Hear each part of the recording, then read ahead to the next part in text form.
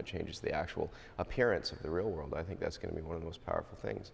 I look at people meeting in virtual reality, as such as happens in Second Life, and you look at that and you think, man, you know, what if in 10 years uh, nobody meets?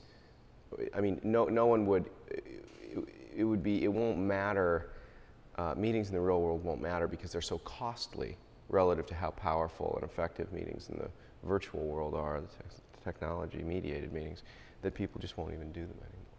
And there'll be a curiosity when we see them happening. Technology actually empowers humans, for example, to make connections with each other um, in, in, in ways that they actually wouldn't be able to do in real life. So, for example, the absence of real eye contact, the absence of, of, of some aspects of physical presence um, can actually be good uh, relative to pushing people over the initial barriers that might keep them from having some sort of communication. So there's a directness and an honesty to uh, electronic conversations sometimes that real ones don't have um, because it's just, you know, we're, we're all, you know, sometimes frightened and we sometimes it's hard to communicate. And the technology mediated forms that are being evolved now will often help us get over that barrier. So I think that it, it's, it's an interesting sort of a double edged thing. Certainly, we can't come as close together ultimately, in, at least not today, or perhaps for the next few years, in this technology mediated space, but we can uh, get to each other and create a basic relationship, understanding, respect, uh, faster, I think, in this world, in this new world, and, and in a real way than we could uh, normally. Social networks and virtual reality and um,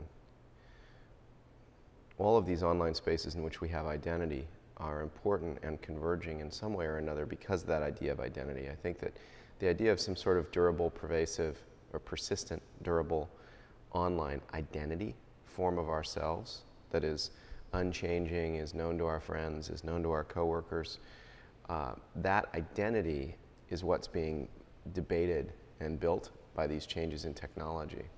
And of course, the medium, whether it's standing in a virtual reality space or just communicating um, on, a, uh, on a sort of a whiteboard or something in a social network, of course, those different affordances, those different experiences are going to suggest different ways that people want to create that online identity. But in the end, I think that being human, we will only want to have really one or so sort of unique forms of singular identity for ourselves online.